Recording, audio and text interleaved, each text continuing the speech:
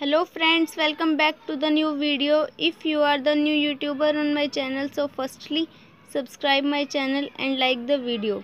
Today's video title is how to pair the bluetooth headphone to your device. So let us start our video. Firstly click the setting icon in your phone and click the bluetooth and notification bluetooth bar and on the bluetooth and on your bluetooth headphone device and here you will see it's already on. And here you see available device. I will try on that.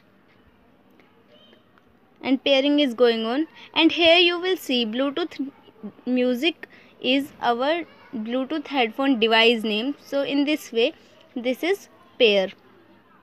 This device is pair. So if you like my video so please subscribe my channel and like the video.